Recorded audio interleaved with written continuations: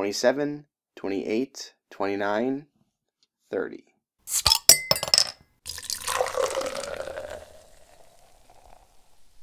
Hey guys, Shawn here from Everyday Aficionados, and I am very lucky to be able to get to try yet another beer in Treehouse's Curiosity series. This makes four in a row, and it's their Curiosity number 30.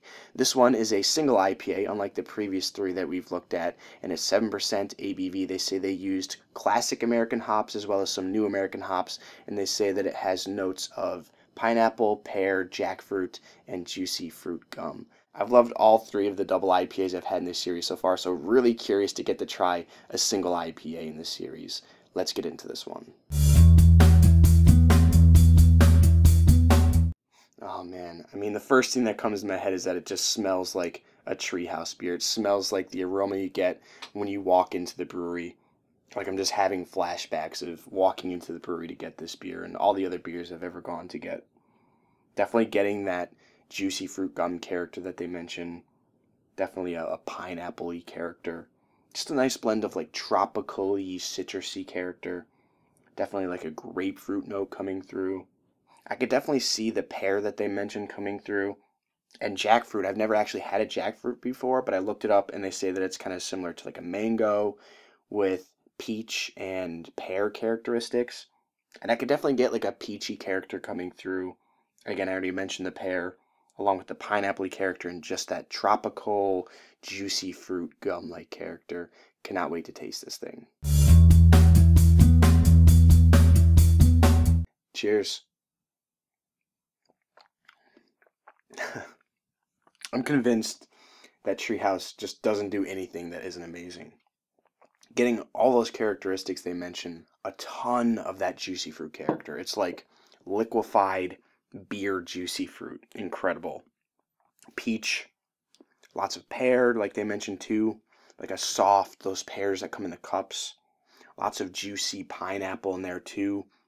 A little bit of a peachy mango character. It has that classic treehouse yeasty tropical gum character, just amplified by the juicy fruit gum character that you're getting in this one too. Really nice soft pillowy mouthfeel. Definitely a nice body for a 7% ABV IPA. It's it's medium to medium plus even. Super clean malt character in this one, just like a nice cereal grain character, a little bit of breadiness. And you do get a little bit of a, a green chlorophyll, slightly bitter hop character on the back end. Yeah, it almost to me comes off as a little bit like eucalyptus or something like that, just like a green chlorophyll, slightly bitter hop character on the back end. Definitely getting some bitter citrus character in there too, like a a little bit of a bitter grapefruit note, and on the back end, almost a, a, slight earthiness too, going along with the other green hop characteristics.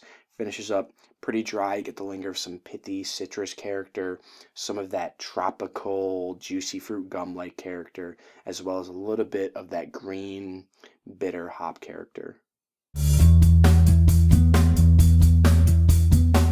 My final thoughts on Curiosity 30, this one is going to get an A plus for me. It's another fantastic entrant into the Curiosity series. If I have to nitpick, it's probably my least favorite so far, but there's some pretty darn stiff competition in the Curiosity series.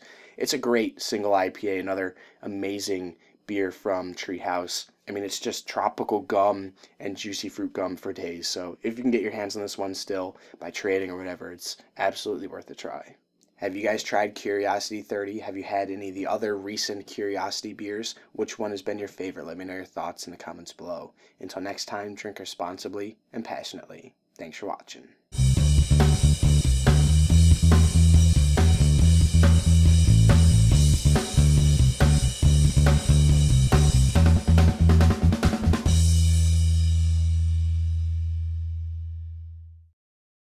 Hopefully I can keep this streak going.